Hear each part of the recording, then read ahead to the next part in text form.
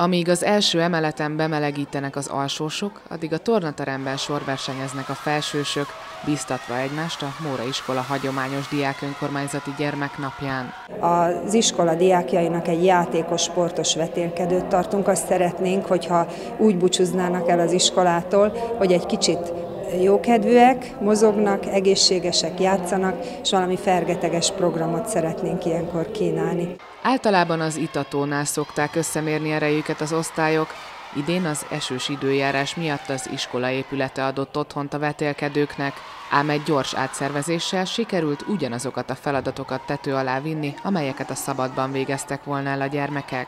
Külön van az alsó és a felső, negyedórás váltásokkal lufi dobáló verseny, célba dobó verseny, akkor karikahajtás, különféle csapatjátékok, versengések, kötélhúzások, kirakós játékok, tehát olyant, amit egyébként évközben az iskolába ilyen formában nem csinálnak a gyerekek. Sporttal kapcsolatos totót töltenek ki, ezzel kapcsolatos régi videófelvételeket néznek meg, amiben az, elsősorban az, 56, az 50-es évek híres foci csapataitnak a, a meccseiből látnak részleteket, és ehhez kapcsolódóan oldanak meg feladatokat.